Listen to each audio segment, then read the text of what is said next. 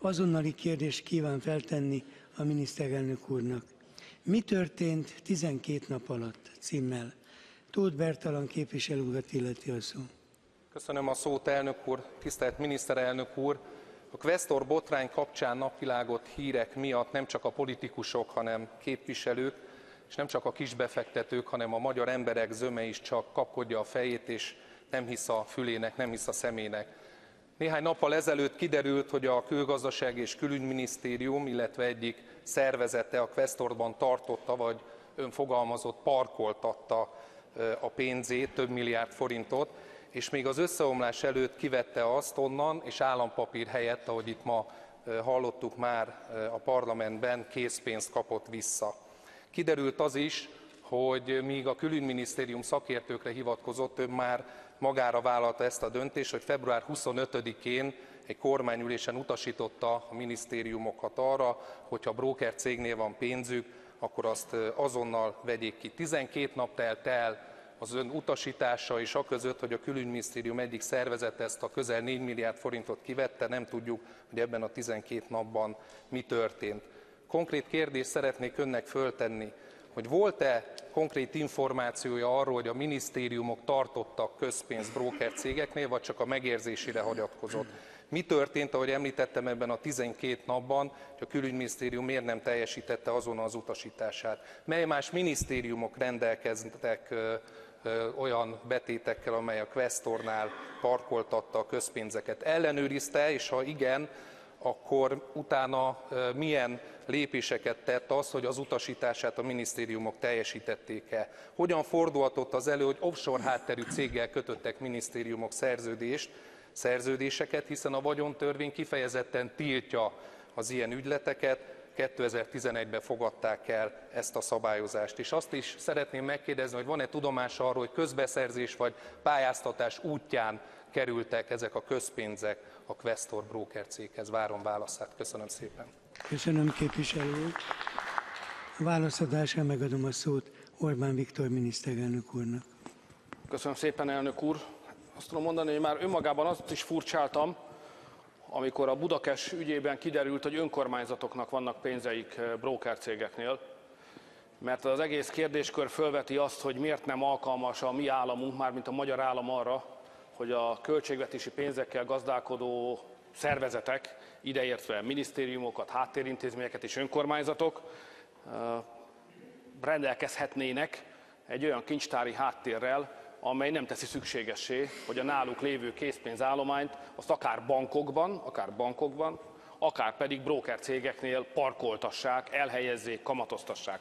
Tehát az egész közpénzügyi rendszer egy gyenge pontjáról beszélünk ebben a pillanatban, úgyhogy én úgy tekintem az ön hozzászólását, meg az itt elhangzott több hozzászólást is, mint egy sürgetést, ami arról szól, hogy azt, amit 25 évig nem tudott megoldani a magyar pénzügyi rendszer, illetve a magyar kormányzati rendszer, annak valahogy jussunk már a végére, külön misét megér, hogy mióta zajlanak ilyen munkát, mennyit költöttünk már el 25 év alatt egy modern kincstári rendszer létrehozása érdekében, de akárhogyan is jussunk már a végére, és egyszer mindenkor legyen világos, hogy a költségvetésből kiutalt pénzeket, azokat nem lehet sem bankokban, sem pedig befektetési alapokban parkoltatni, hanem egy ellenőrzött csatornán keresztül kell átláthatóan gazdálkodni velük. Ez lenne a helyes. Miután kiderült, hogy az önkormányzatoknál, vagy 67 önkormányzat esetében nem ez a helyzet áll fönn, fölmerült a fejünkben azonnal az a kérdés, hogy és mi van a központi közigazgatással. És akkor rendeltem el a helyzet áttekintését, illetve mindenkit utasítottam arra, hogy ezt az állapotot szüntesse meg.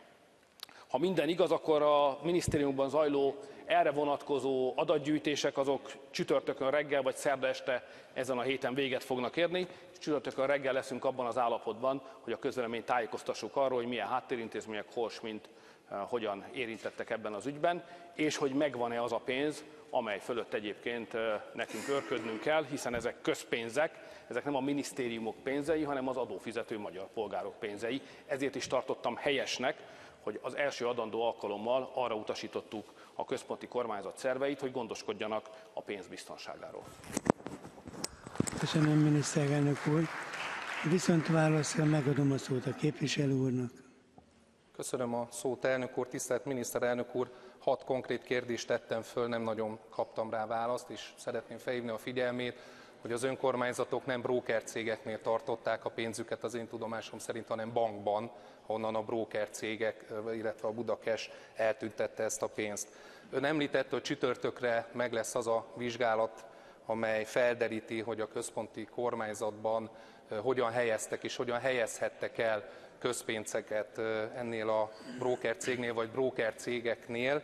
Ezért szeretném megkérdezni, hát ha viszont válaszában erre konkrétan válaszol, hogy terveze a vizsgálat alapján bármiféle felelősségre vonás, hiszen, ahogy említettem, ez a Questor, mint kiderült, egy offshore hátterű cég, az önök vagyontörvénye, a parlament, amit elfogadott, pedig tiltja az ilyen szerződéskötést, tehát egyértelműen törvénysértés történt, konkrétan tudjuk, hogy a külügyminisztériumnál, várom válaszát, hogy vizsgálják, és ha igen, akkor lesz-e felelősségre vonás. Köszönöm szépen. Köszönöm, képviselő úr. Viszont válaszra megadom a szót a miniszterelnök úrnak. Köszönöm, elnök úr, és azt a jó hírt szeretném megosztani önökkel, hogy a külügyminisztériumot illeti, ott minden forint hiánytalanul megvan. Majd a rendőrségi meg az ügyészségi vizsgálatok, amikor lezárulnak, akkor kiderül, hogy abból kire mi jut, van-e érintett állami szerv, és ami jár, azt a magyar jog szerint ki is fogják mérni. Ami a, a Questor ügy általános adatait illeti, szeretném megismételni, amit már egy másik kérdésre válaszként elmondtam. Most úgy látjuk, hogy 32 ezer károsult van. Úgy látjuk, hogy ha a Fidesz javaslatát, amit a kormány támogat, azt a Beván Beva elfogadja, illetve el tudjuk velük fogadtatni, akkor 32 ezer emberből 22 ezer ember, nevezzük őket kisbefektetőknek, hozzá fog jutni a pénzéhez. Marad a mi adataink szerint 9500, nem mondám őket nagy befektetőknek, mert itt a 6 millió forint fölött összegről beszélünk, de nagyobb bacska befektető, 9500 ember, akinek az elszenvedett kárát próbáljuk meg orvosolni majd a vagyonzár alá vett vagyontárgyakból. Erre van is esély. Tehát azt szeretném mondani önöknek, hogy több mint 70%-a az embereknek az első javaslatunk elfogadásával kártalanításra kerül, és a második javaslatunk elfogadásával esély nyílik a másik 30% számára is. Miután ön mégiscsak a szocialista párt pacsoraiban ül, ezért emlékeztetnem kell azért ön ar, önt arra, hogy a politikában az összehasonlítás az értékítélet alkotásnál fontos. Volt egy hajdubét ügy, senkit nem vittek el, senki egy filér kártalanítást nem kapott. Ezt az összevetést legyen kedves végezzel. Köszönöm szépen.